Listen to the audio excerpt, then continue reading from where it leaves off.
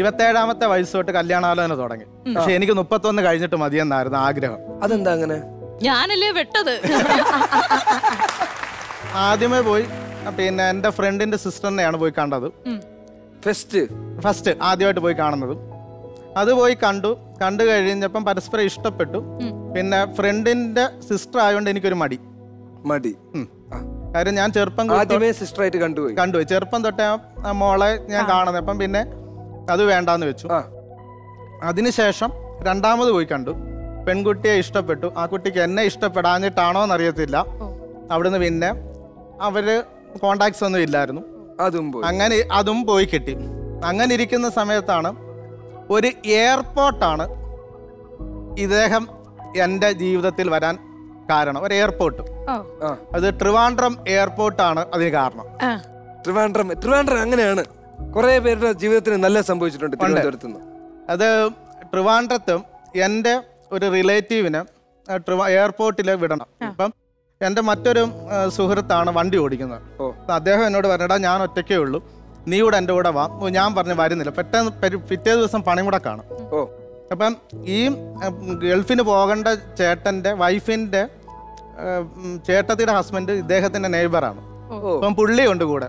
അപ്പം ഞങ്ങൾ നാലുപേരൂടാണ് ട്രിവാൻഡ്രത്തിന് പോകുന്നതും അപ്പോൾ ഇദ്ദേഹം എയർപോർട്ടിനകത്ത് കയറി ബോർഡിംഗ് പാസ് കിട്ടേണ്ട അത്രയും സമയം ഞങ്ങൾ വെളിയിൽ നിന്ന് ഇങ്ങനെ വാചം അടിച്ചുകൊണ്ടിരിക്കുമ്പോൾ വണ്ടി ഓടിച്ച ചേട്ടൻ പറഞ്ഞു പിന്നെ എന്റെ അദ്ദേഹത്തിന്റെ കല്യാണം എല്ലാം സെറ്റായിട്ടിരിക്കുകയാണ്.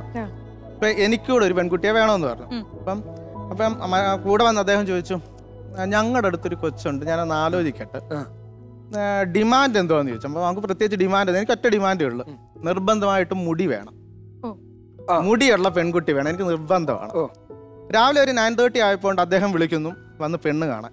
പെണ്ണ് കാണാനായിട്ട് പോയി ഇദ്ദേഹത്തിന്റെ വീട്ടിൽ ചെന്നു. സത്യത്തിൽ ഞാൻ ആദ്യം ഇദ്ദേഹത്തെ അല്ല നോക്കി. ഇദ്ദേഹത്തിന്റെ മുടിയാണ് നോക്കി. ഓ. മുടിയിലാണ് ഞാൻ വീണത്. അത് ഞാൻ പറയും. ഞാൻ സീനയുടെ മുഖം കാണുന്നത് രണ്ടാമത് ഇദ്ദേഹത്തിന്റെ വീട്ടിൽ ചെല്ലുമ്പോഴാണ്.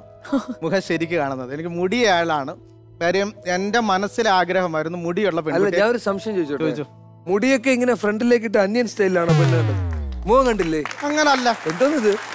ചായയുമായിട്ട് വരുന്നു. ആ. വന്നിട്ട് അവിടെ നിൽക്കുകയല്ലോ മുടി ഇങ്ങനെ ഇടും.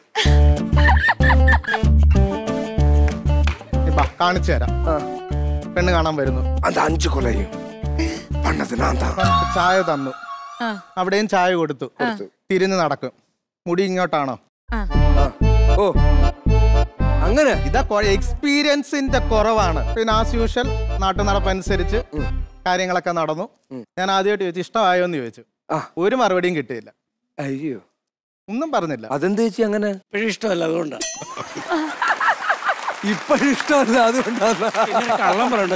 സത്യം പറയുന്നില്ല. വേറൊരു കാര്യം കൂടെ ഉണ്ട് നാൾ ചേരത്തില്ല. ആശാൻ വേറെ ജാതകം സ്വന്തം ജാതകം ഉണ്ടാക്കിച്ചു. ഇത്രയും രഹസ്യമായിട്ട് വെച്ച ഈ ഒരു കാര്യം. ഇനി എന്നെ നാട്ടുകാർ ഓടിച്ചിട്ട് അടിക്കത്തില്ലേ? ഈ അഡ്ജസ്റ്റ്മെന്റ് അറിയുമായിരുന്നോ അഡ്ജസ്റ്റ്മെന്റ് അറിയില്ലായിരുന്നു. പക്ഷെ അന്ന് ഇത്രയൊന്നും സംസാരിക്കത്തില്ലായിരുന്നു ഞാൻ. അപ്പൊ എന്നോട് ചോദിച്ചു ഇഷ്ടമാണോ? എന്ന് ചോദിച്ചു. അപ്പൊ ഞാൻ പറഞ്ഞു അമ്മയോട് ചോദിക്കാൻ പറഞ്ഞു. അമ്മയടുത്ത് പോയി ഇഷ്ടമാണോ ചോദിക്കാനാ? അമ്മയ്ക്ക് ഇഷ്ടമാണ് അതായത് വീട്ടുകാർ തീരുമാനിച്ച് ഉറപ്പിക്കണമെന്ന്. ആ ഓക്കെ. അവസാനം രണ്ടു കൂട്ടുകാർക്കും ഓക്കെ ആയി. ഞങ്ങളുടെ കല്യാണം തീരുമാനിച്ചതിന് ശേഷം ഞങ്ങളുടെ മുന്നിൽ അഞ്ചു മാസം ഉണ്ടായിരുന്നു. ആ അഞ്ചു മാസത്തിന്റെ കഥയും വിവാഹ ദിവസവും ആ വിശേഷങ്ങൾ നമുക്ക് വഴി അറിയാം. അതെ. കാരണം ഒരു ദമ്പതിമാരും പ്രതീക്ഷിക്കാത്ത കാര്യങ്ങളാണ് പിന്നീട് നടന്നത്. നട- അതെ. അല്ലല്ലേ ജൂട്ടാ യെസ്